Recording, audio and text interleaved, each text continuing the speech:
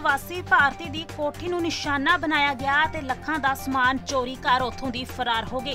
ਫਗਵਾੜਾ ਦੇ ਵਿੱਚ ਚੋਰੀ ਦੀ ਘਟਨਾ ਵਾਪਰੀ ਹੈ ਜਿੱਥੇ ਅਰਬਨ ਸਟੇਟ ਖੇਤਰ ਦੇ ਵਿੱਚ ਚੋਰਾਂ ਨੇ ਇੱਕ ਪ੍ਰਵਾਸੀ ਭਾਰਤੀ ਦੀ ਕੋਠੀ ਨੂੰ ਨਿਸ਼ਾਨਾ ਬਣਾ ਕੇ ਉੱਥੋਂ ਦੀ ਗਹਿਣੇ ਅਤੇ ਲੱਖਾਂ ਦੀ ਨਕਦੀ ਚੋਰੀ ਕਰ ਲਈ। ਜ਼ਿਕਰਯੋਗ ਹੈ ਕਿ ਚੋਰਾਂ ਦੇ ਵੱਲੋਂ ਅੰਦਰੋਂ ਤਾਲੇ ਤੋੜੇ ਗਏ ਅਤੇ ਘਰ ਦਾ ਕਾਫੀ ਸਮਾਨ ਚੋਰੀ ਕਰ ਲਿਆ ਗਿਆ।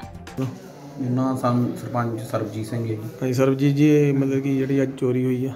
ਇਹਦੇ ਬਾਰੇ ਜਾਣਕਾਰੀ ਦਿਓ। ਹਾਂਜੀ ਚੋਰੀ ਜਿਹੜੀ ਆ ਜੀ ਮਨਜੀਤ ਕੌਰ ਮੇਰੀ ਭੂਆ ਜੀ ਦੀ ਕੋਠੀ ਆ ਅਰਬਨ ਸਟੇਟ ਫਗਵਾੜਾ ਦੇ ਵਿੱਚ 94 ਨੰਬਰ ਕੋਠੀ। ਤੇ ਇਹਦੇ ਵਿੱਚ ਚੋਰੀ ਹੋਈ ਆ ਮੇਰੇ ਚਾਚਾ ਜੀ ਦਾ ਲੜਕਾ ਇੱਥੇ ਗੇੜੀ ਮਾਰਨ ਨਹੀਂ ਆਈਦਾ ਹਫ਼ਤੇ ਬਾਅਦ। ਅੱਜ ਆਏ ਤਾਂ ਦੇਖਿਆ ਵੀ ਪਾਣੀ ਕਾਫੀ ਬਾਹਰ ਜਾ ਰਿਹਾ ਹੈ ਮੇਨ ਗੇਟ ਤੋਂ।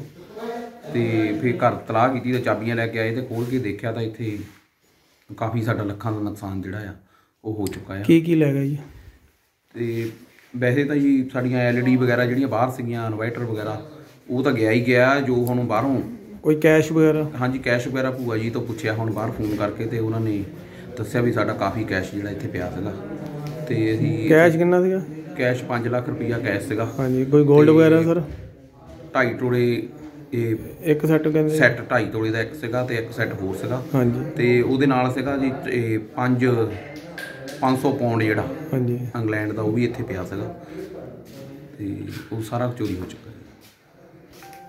ਤੇ ਪੁਲਿਸ ਨੂੰ ਸੂਚਨਾ ਦੇ ਦਿੱਤੀ ਆਪਾਂ? ਹਾਂਜੀ ਪੁਲਿਸ ਮੁਲਾਜ਼ਮ ਆ ਗਏ ਆ ਉਹਨਾਂ ਨੇ। ਮੌਕਾ ਦੇਖਿਆ ਹਜੇ। ਹਾਂਜੀ। ਬਾਕੀ ਹੁਣ ਦੇਖੂਗੇ ਤਫਤੀਸ਼ ਕਰੂਗੇ ਇਸ ਹੁਣ ਇਹ ਮੰਗ ਕਰਦੇ ਆ ਤਫਤੀਸ਼ ਕਰਕੇ ਜਿਹੜੇ ਆ ਚੋਰ ਫੜੇ ਜਾਣ ਤੇ ਸਾਡਾ ਜਿਹੜਾ ਲੱਖਾਂ ਦਾ ਨੁਕਸਾਨ ਹੈ ਜਿਹੜਾ ਕੋਈ ਸੀਸੀਟੀ ਕੈਮਰੇ 'ਚ?